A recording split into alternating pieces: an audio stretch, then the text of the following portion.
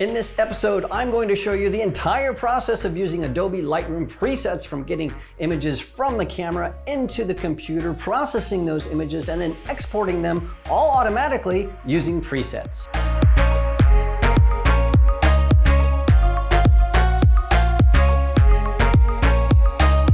Hey everybody, I'm Mark Wallace. Welcome to another episode of Exploring Photography right here on Adorama TV. Today we're going to be doing a ton of stuff, and so it's a great time to grab a cup of coffee, sit in front of your computer, and follow along. Now, let me remind you, if you haven't already, make sure you click on the subscribe button and turn on the bell so you don't miss a single thing on Adorama TV. Well, we're talking about presets. The last episode, I talked about where you can find different presets in Lightroom Classic. Today, we're gonna be putting all of that into practice from getting images out of our camera, developing those images, making sure we have EXIF metadata, keywords, all that kind of stuff automatically applied. And then we're going to use some automatic settings to export those files and get them out to the world. It's an entire workflow start to finish. The first thing we need to do is we need to create a few presets.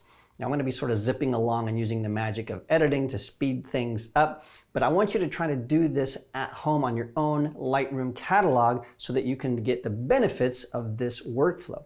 So the very first preset that I want to create is called a default preset, a default develop preset. And that tells Lightroom how to behave. And so when you bring your images in from your catalog, by default, Lightroom just has everything zeroed out. Well, if you're like me, every time I bring my photos in from um, like my Leica M10 here, I'm always doing the same things over and over. I'm setting my sharpening to a certain place. I'm setting my, uh, opening my shadows a bit, changing my blacks, and I'm setting my color profile to the color profile I like. I don't want to have to do that every single time I load images in from my camera. I want Lightroom to just know that this is the camera I'm using and to do that. And for other cameras, I wanted to use the settings on my camera. So maybe I borrow a Sony or a Nikon or a, a Canon camera. I want to use the settings that I've put in my camera to automatically show up in Lightroom. And so we can do that. So let's jump into Lightroom really fast and I'll show you how this works. I'm going to choose an image here. This is an image from my Leica M10. It doesn't really matter. And we'll go over to the develop module. What I've done here is I just want to show you this preset that I've already created. It's called my Leica M10 Basic preset. So I've already made this preset. What I did was I changed my color profile to Leica M10 from normal Adobe Color here. I have left pretty much everything else except for the uh, shadows. I have opened them up just a little bit. I've taken my blacks down just a little bit, increased my vibrance. And then one other thing that I've done here is I have set my sharpening to 70. That's usually where I like to have my settings set. Now what we're going to do is we're going to take these settings and tell Lightroom anytime I import photos from this camera, use those settings. So we can do that by going into our preferences. So I'm going to go into Lightroom, go to Lightroom Classic Preferences, and then there is a Presets tab here. Now the raw default, in other words, how Lightroom adjusts these uh, settings is Adobe default. So that's just basically flat. I don't want to use that. So what I want to do is I want to tell Lightroom to use the camera settings for all of my cameras. So use the settings that uh, are on the, whatever the saturation is, whatever the contrast is that I've set on my camera. If possible, use that when you're processing the raw files. However, I want to do something else here. There's this little uh, setting right here that says override master settings for specific cameras. I want to select that because I know my Leica M10, and you can do this for any camera that is in your catalog. So I'm selecting my Leica M10, and I'm going to tell Light, uh, Lightroom to use a different preset. So I'm going to say use this Leica M10 basic preset, and then I'll say create default. So here's what Lightroom is doing. For all cameras, it's going to try to use the camera settings, except for the Leica M10. If it sees my Leica M10, it's going to apply the preset that I created for that. I can create another preset for if I have a Nikon D800. I can say, you know what? Let's use uh, a preset uh, black and white landscape for that guy. And if I have my Sony, blah, blah, blah. So you can have multiple camera specific settings. You can even have them not just for camera model, but you can show camera serial numbers and you can say, I want this to be applied to a specific Leica M10 with this serial number. So you can get really specific. I'm not gonna do that for my catalog, but that's really good if you have, perhaps you have two different cameras. One, you always wanna shoot high contrast black and white. The other one, you wanna shoot color. And when you import your photos, you want Lightroom to automatically process those using presets that you've created. And so you can do that. It's really cool. So you can really do a deep dive into this. We're gonna keep it simple. So again, we've set this up for any camera it's going to try to use the camera settings, except for my Leica M10, it's going to use the profile that I created because I know exactly how I want this camera to look. All right, we've got that set up. So now what we're going to do is we're going to go create some more presets. We want to create uh, our first uh, EXIF data preset. We're going to use this to add copyright information, keywording information, location information, things specific to where I'm shooting. So I'm in uh, Microcentro right next to San Telmo, right downtown in Buenos Aires, Argentina. By the Obelisk. And so what I want to do is I want to create metadata for this neighborhood because I've been here for months and so all the images that I shoot here, I just want to have them already pre-populated. So we can do that really easily. Go to the library module and then we're going to go down here to our metadata. And then we have, uh, under our metadata here, we have our presets. So what I'm going to do is I'm going to click Edit Presets. Now when I do that, I can create a custom preset. So I have all of these presets here. So I'm going to create a brand new preset. I'm going to be starting to type in some stuff. And by the power of editing, I've put in a bunch of stuff. So the GPS information, I have my copyright information here with my website, my address and email and contact information. I have the city and the state, the country is in here.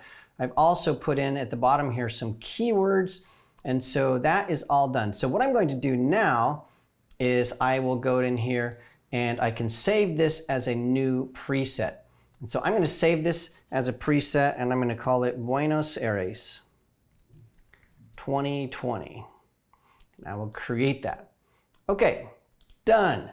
So now I can go over to my metadata and then there is my Buenos Aires 2020. If I click that, then all of this stuff is populated there. But I can use this later on to automate things.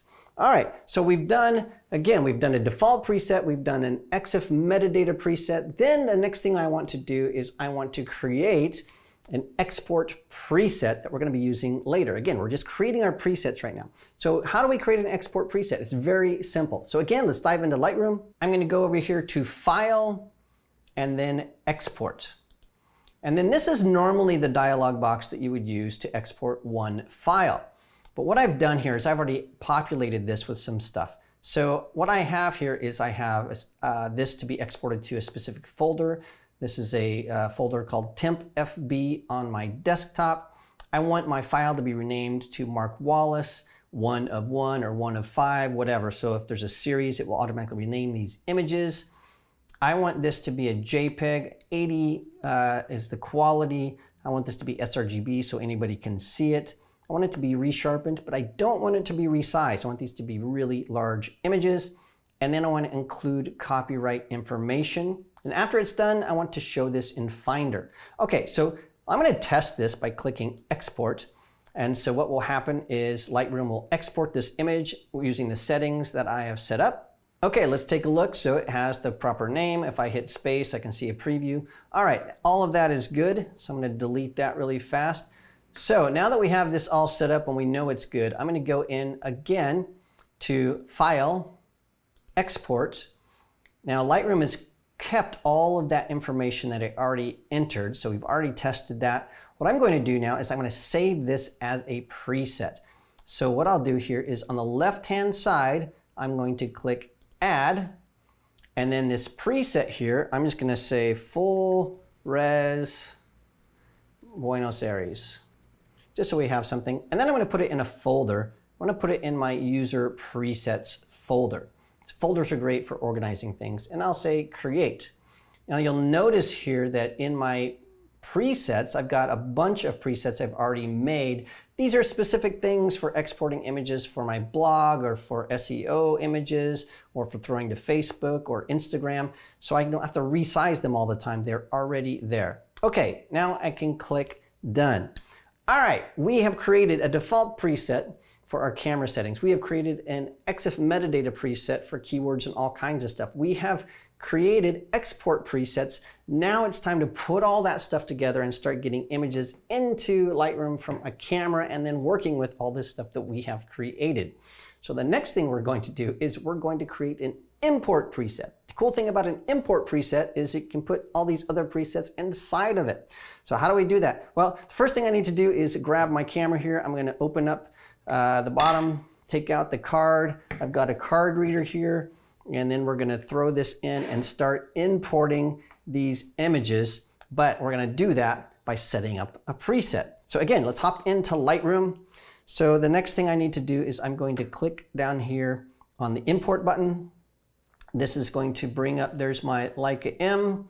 So here are all the photos there. Now what I want to do is I want to set this up to be able to be reused over and over again. So I know that I want my images to come from my Leica copied to my orange RAID, that's my external hard drive.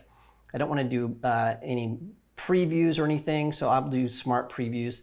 I won't import suspected duplicates, but I have all this stuff sort of set up here. Now for my develop settings, I'm going to select none. Now that's really important. So I'm selecting none because remember, we already told Lightroom how to behave. It knows if it's importing images from my Leica M10 to use that M10 basic develop profile that I already created.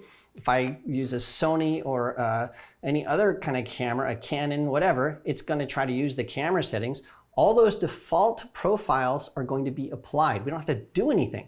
If we want to override those, if we want to say don't use the defaults, then we would select something. But since we do want to use the defaults, I'm going to say none because the work is already done. All right, so the next thing we want to do here is we want to organize that. So i am going to bring that into a folder um, down here. It's my photos folder. So I've already got all that stuff set up. So I want to go into an Argentina subfolder. The other thing I want to do is I want to use the metadata that I set up earlier. So I don't want to use 2020 Mark Wallace. I want to use this new one, this Buenos Aires 2020 that we just created. Now I'm not going to put keywords here because guess what? The keywords are already saved in this metadata preset. If I wanted to add additional keywords, I could do that. So I'm going to add tutorial, if I can spell that, tutorial here. So maybe I'll put in tutorial and maybe just for fun, I'll put in coffee. Okay, so it should have tutorial and coffee plus all the other uh, keywords that I've already set in. Now what I want to do is I'm not going to import these. What I'm going to do is I'm going to go down here and save the current settings as a new preset. So when I click that, it's going to say, what preset do you want to call this? I'm going to say Buenos, whoops, Buenos Aires 2020. Then I will create that preset. Now, anytime I want to repeat these settings, all I have to do is click import, select Buenos Aires 2020, and everything else is going to be set up for me. So once that's done, now I'm going to click import and let Lightroom start doing its magic. All right, well, all of those photos are now in Lightroom and they've been processed the way that we set them up using our presets. So let's take a quick peek at how this has all worked out. So if we look at the very first image here, I'll just open this really quickly. I'm in the library module. The First thing you can see is our saved preset says custom because of course it's using this Marks preset Leica basic M10 by default. That's what it, we told it to do. You can see here that our keywords have all the keywords that we added in our EXIF preset in addition to the, uh, the keywords that I added like coffee and tutorial. So those have also been added. That saves a ton of time. If we go down and look at our uh, EXIF data, you can see that my fake email and phone number, all that stuff is in there. All the location stuff is in there. So that has saved us a ton of time. We entered that once using our preset and then using that import preset, all of that stuff will be repeated over and over and over again anytime we import using those settings. It's a huge time saver. Let's also go look at our develop module because what we want to do now is start using presets to develop very, very quickly. So what we're going to do here is I'm going to first go through these images and pick the winners. All right, so I've picked really quickly the ones I think that we can work with. What I'll do is I'll go to attributes, I'll click on the flag here. Now we can start using our presets to quickly edit these images. So one of the images I sort of like here is these are these wine bottles here. Now I shoot into glass all the time and so I have a preset, so I'll go to my develop module that I have created called reflection. So I'm just gonna hover over that. I can click on that and already I like how that looks. I'll go to this next image here. I'll just click on reflection. Bam, I've already created a look that I like. I can go in here and tweak that look though. So if I wanna go in and perhaps add a, uh, a, a vignette to the side, I can do that. Or I could go in and maybe make this a little bit more contrasty. That looks sort of cool. The point is I can quickly use my preset to get it to a starting point that looks really good. Let's keep going because we can use the presets to do this really, really quickly. So let's look at this window here. I think this is something that probably, with all these signs and stuff, could be a nice black and white. So I'm going to use this uh, preset called Crushed Black and White. Uh, I don't know if I like that. Maybe this Medellin Black and White. Eh, it looks a little bit better, so I'll use that. Let's go to uh, this image right here. This is sort of punchy. I like the colors in that. So let's go to the, to the develop module. And so what I can do here is I can go to a preset that's built right in. And so I'll do high contrast, detail, or vivid. So I'll just use this one right here, this high contrast vivid and you get the idea. So we can really quickly go through here and start processing images. So how do we go from that to getting the images out to the real world? Well, guess what? We created a export preset, so let's use those. So what I'm gonna do here is I'm going to grab these wine bottles here and this uh, the posters on the board and this other photo that we created. So these three images here, I've selected those. Then I can go up here to File, export, and then I can either do export with preset, and then I can say, you know what, just uh, export these as a large photo, but I wanna do something different. I wanna show you something that's even better than that. So I'm gonna say export, and then what I can do here is I can choose multiple exports and do it all at once. So what I'll do here is I'm gonna go in and we're going to use the full res Buenos Aires uh, preset that we created. So I'm going to click on that. And then the other thing I want to do is I want to use this 1800 pixel large photo. So I'm going to do two different versions of these. So a full resolution and an 1800 pixel. And then now I can batch export. So I'm going to click batch export and it's going to ask me um, where I want to do these, if I want to have a custom text. So yeah, this is all set up. I like that. This is all good. Everything is exactly as we set it up export. Okay, now we have our images here. And so what we can do is we can maybe sort these by name. You can see here are the 1800 pixel uh, smaller images, which are cool. And notice that the file names are the default file name from the camera. Then I've got this renamed one, and these are the uh, full resolution images. And so if I open these in preview, so I'll do that, open with preview, bam, and then I'll say uh, view 100%. So we'll say actual size. You can see these are full resolution images. And that is all there is to it. That's how you can use the power of presets to automate your entire workflow.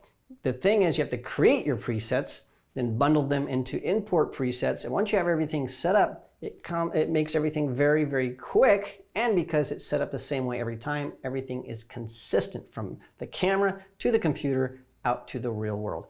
That was a ton of stuff. I hope you were able to follow along, pause, add your different presets and try this. As you grow with your Lightroom, you will start having more and more and more presets for all kinds of things, but it's gonna benefit you a ton by doing that. Well, thanks again for joining me. Again, don't forget to subscribe to Adorama TV, turn on the bell. If you like this video, give it a thumbs up, leave a comment, tell me what you think, or if you have questions that I didn't answer, put those in the comments below and we'll try to get back to you. Thanks again for joining me and I will see you again next time.